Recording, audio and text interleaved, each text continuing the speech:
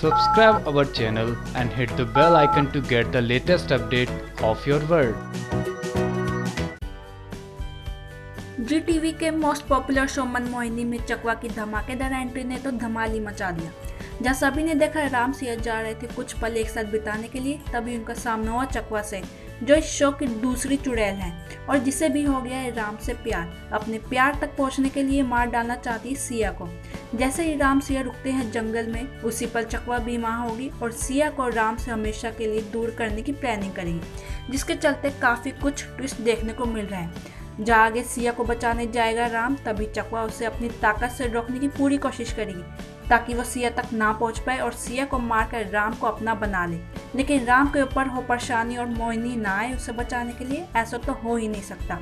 तभी वहाँ पहुँच जाएगी मोहिनी और राम को बचाती दिखेगी। अब तक तो यहाँ मोइनी वर्सी, चकवा और सिया चल रहा है। अब मोइनी चकवा होंगे आमने सामने, दोनों में दिखेगी जंग और अपनी शक्तियों से एक दूसरे को मारने की कोशिश करेंगे। अब तो दो चुड़ैल की ल... पैच। अब तो दो चुड़ैल की लड़ाई देखना बन गया है और भी दिलचस्प और सवाल कई आ गए हैं। जिस मोहिनी को मिला था चकवा का साथ राम को हासिल करने के लिए, उसी चकवा ने दे दिया धोखा। अब किसका होगा राम, ये तो शो के आने वाले ट्रैक में ही पता चलेगा।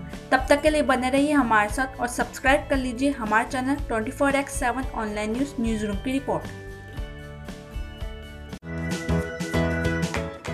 Subscribe our channel and hit the bell icon to get the latest update of your world.